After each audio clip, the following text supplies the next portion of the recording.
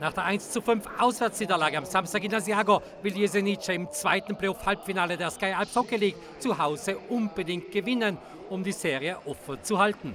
Beide Teams können in Bestbesetzung antreten. Die Slowenen, die von 2300 Fans unterstützt werden, spielen ganz in Rot gegen Asiago, ist derzeit in bestechender Form und ist im Playoff immer noch ungeschlagen.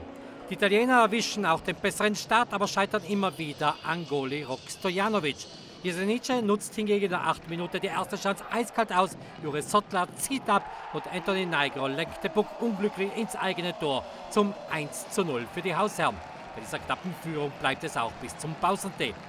Das Mitteldrittel beginnt gleich mit einem Knüller. Nur 25 Sekunden sind gespielt. Den Schuss von Stefano Marchetti lenkt der ehemalige NHL-Profi Kolanos ins Tor der Slowenen zum 1 zu 1 Ausgleich. Nur zwei Minuten später gewinnt Michele Stevan das Bulli. Andreas Lutz setzt Julius Candela in Szene und der 33-jährige Italo-Kanadier bringt erstmals seine Mannschaft mit 2 zu 1 Toren in Führung. Führung, die aber gerade mal fünf Minuten hält. Maria Manfreda zu Alexander Magovac. Der trifft aber nicht das gegnerische Tor, sondern Marchetti. Manfreda reagiert am schnellsten und staubt zum 2 zu 2 ab.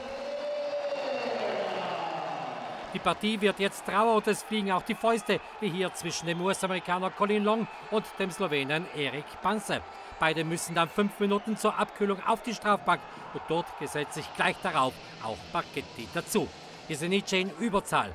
Jeszovic schießt daneben vorbei. Jure Sottler reagiert aber blitzschnell, umkreist noch das Gehäuse von Cloutier und netzt zum 3 zu 2 ein. Für den slowenischen Stürmer ist es bereits das 19. Saisontor, das vierte im Playoff. Und wir springen ins Schlussdrittel. Asiago gelingt mit seinem Paradensturm wieder ein Blitzstart. Colin Long zu Chris Kolanos, weiter zu Anthony Neigro und der bezwingt Stojanovic zum 3 zu 3.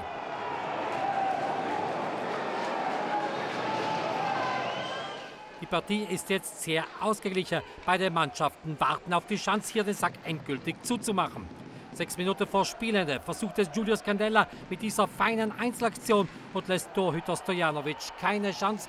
Die 4 zu 3 Führung für Asiago, das zweite Tor heute für Scandella, sein insgesamt 22.